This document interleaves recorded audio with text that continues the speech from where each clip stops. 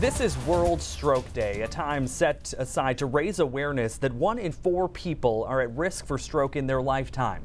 Seven years ago, a stroke almost took the life of Guy Pilote, a former Lewiston first responder. Despite incredible odds, Pilote set off last April on a solo through hike on the Appalachian Trail, raising awareness about traumatic brain injuries with every step.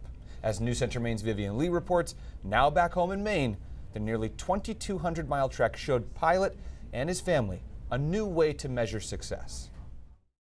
Back in April, Guy Pilote set off on a solo through hike on the Appalachian Trail, starting at Springer Mountain in Georgia. Only one in four people make it all the way to the end, the summit of Mount Katahdin. I wanted him to have that victory moment, right? Yep. At the top, I had it all pictured in my head. Guy knows a little something about beating the odds. A catastrophic stroke in 2014 left the former Lewiston police officer and firefighter unable to breathe on his own. Intensive rehab helped him regain limited speech and use of his body, except his right arm and hand. Averaging about 12 miles a day, sleeping at shelters at night, Guy made the more than 2,000 mile journey to Katahdin with no major problems. On October 19th, Guy, Sue, her sister Lisa, and Sue's son Devin were a mile and a half from the summit when conditions suddenly changed. And the wind yes. was blowing wind. so hard, and it was snowing and it's like you couldn't see. At this point on the trail, they were above the tree line with a path of large boulders ahead. But Guy and his family knew they couldn't keep climbing. I was just so, we're not quitting. We can't quit.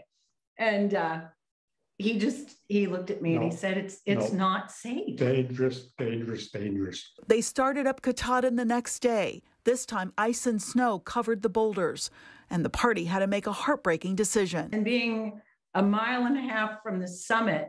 Yeah. I, I can't even tell you. I mean, I think I cried all the way down the mountain. Sue says Guy was disappointed, but at peace. He yeah. was singing on the way down the mountain both times. Despite being so close to finishing a lifelong dream, Guy blazed a new trail to raise awareness for traumatic brain injuries, which affects more than a million and a half Americans every year.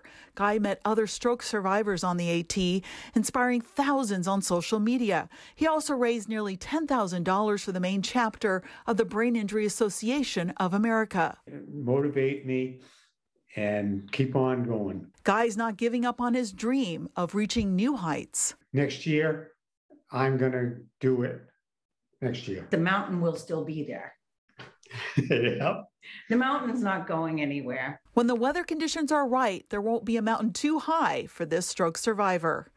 In Lewiston, Vivian Lee, New Center, Maine. Now, Guy hopes to climb Katahdin sometime next May. If you'd like more information about preventing strokes and brain injuries, you can go to our website and mobile app.